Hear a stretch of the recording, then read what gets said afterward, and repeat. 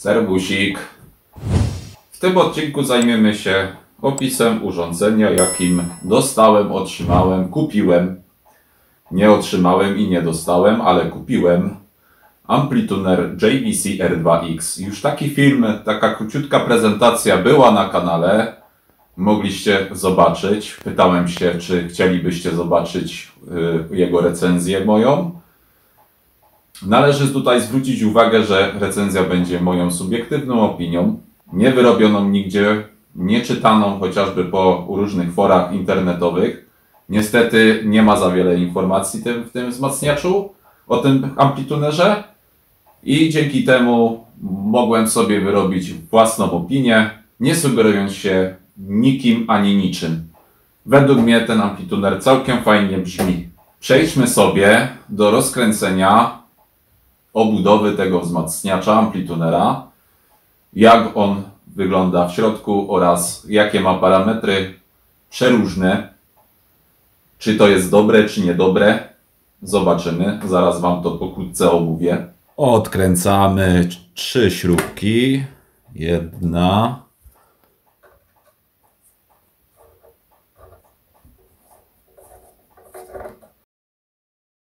Chcesz dołączyć do mojej grupy o audio na Facebook? Wpisz w wyszukiwarkę zaznaczony tekst na niebiesko i wyślij prośbę.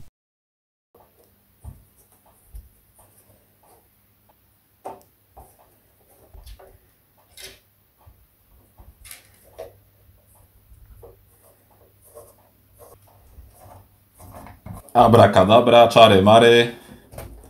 I zdejmujemy sobie pokrywę. W środku co zobaczymy? Zobaczymy m.in.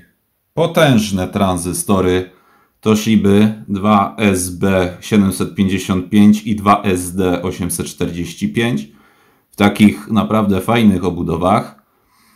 Między innymi, nie wiem czy to będzie widać, ale mam nadzieję, że tak. Tutaj pokażę, tak żeby nie zewrzeć sobie nic. Między innymi prostownik, układ Gretza, 4 diody. To jest zasilacz. O, widzę, że tu już chyba coś się robi delikatnie. W każdym razie jest klej, który łączony, te kondensatory w zasilaczu. Prawdopodobnie one są 6800 mikrofaradów, a nie 8700 mikrofaradów na 50 V. Dzięki czemu wydajność prądowa, między innymi kondensatorów na końcówkę mocy, będzie dość spora, ale to nie o tym. Między innymi tranzystorki, przepraszam, rezystory emiterowe w układzie końcowym. Jak widzicie, tutaj płytka zasilacza, duże tra du duży transformator, duże trafo, bar nawet bardzo duże. No i oczywiście sekcja tunera radiowego, bo to jest amplituner. W środku innymi głowica UKF, pośrednie, niepośrednie, różne układy, układziki. Czy, tu, czy amplituner jest skomplikowany? W mojej ocenie nie. Jest to dość prosta konstrukcja, aczkolwiek na dość fajnych tranzystorach, jeśli chodzi o sam wzmacniacz stereofoniczny. Czy podobają Ci moje filmy? Czy uważasz, że otrzymałeś niezbędną wiedzę na moich filmach? Czy chcesz wspomóc moją dotychczasową twórczość? Proszę o kliknięcie w linki do programu partnerskiego Ceneo, w jakim jestem. Mi coś kapnie, Ciebie nic nie kosztuje. Serdecznie Ci za czynność dziękuję. tego urządzenia jest między innymi bardzo takie, nie podobają mi się osobiście te kable zaciskowe, znaczy się konektory zaciskowe do głośników. Ja je pokażę tutaj bliżej. Niestety one są kiepskiej jakości, może się to uluzować podczas, nie wiem, troszeczkę siły użycie podczas przenoszenia na przykład samego, samego zestawu głośnikowego, no i niestety może się to nam wyrwać. Poza tym one są też takiej średniej jakości. Nie jest to co prawda jak chociażby gruby konektorowy konektorek, taki jak na przykład w Pionierze, nie wiem, dajmy na to E400. Jeszcze po lewej stronie tego amplituneru mamy gniazda cinch. Oczywiście co niektórzy poprawią, że to, są, że to nie są gniazda cinch, tylko cinch. Wymawia się cinch poprawnie. Nie będę tutaj w polemikę dyskutował z innymi, bo to nie ma sensu. Jak ktoś chce poprawiać, to niech mnie poprawia w komentarzu. Nie bronię nikomu.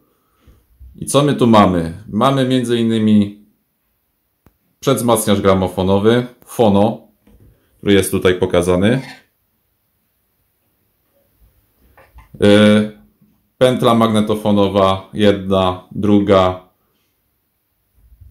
i również powtórzone to gniazdo dla DIN, co jest taką, no można powiedzieć rzadkością, bo to jest rok 80 bodajże tego modelu, tego amplitunera. Poniżej, poniżej tej anteny ferytowej mamy również takie same zaciski do anteny typu FM 300 ohm oraz AM. Kawałeczek tutaj jest wyprowadzony dla gniazdka koncentrycznego. Jak widzicie, przedni panel jest wykonany z aluminium. Między innymi tutaj mamy plastikową z pleksy szybkę od skali UKF oraz fal mm, AM. To są bodajże średnie, jak dobrze widzę. Aluminiowy cały front panel, co jest bardzo ładnie wykonane też. Między innymi mi się najbardziej to podoba, nie sam plastik, ale to już każdemu podoba się co innego. Gałki są plastikowe, tak samo jak i nakładki na przełączniki, na te isostaty. Chociażby również też możliwość zaprogramowania aż 6 stacji radiowych. Czyni dość fajnym i prostym zarazem amplitunerem. Oczywiście to działa, sprawdziłem jak najbardziej. A teraz sobie go załączmy. Przekaźnik zadziałał.